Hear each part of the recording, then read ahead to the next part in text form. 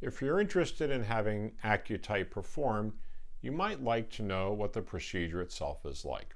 Well, you may already know that with AccuTite, we can treat the jowls, we can treat the chin, the nasolabial fold area, we can even treat the lower eyelids and raise the brow a little bit. So what's the treatment itself like? Well, the procedure is performed in the office under local anesthesia. You don't need to go to sleep. You don't need to go to the operating room. You don't need anesthesia. Instead, we just gently numb the areas that are to be treated, and the procedure is performed in the comfort and the safety of our office.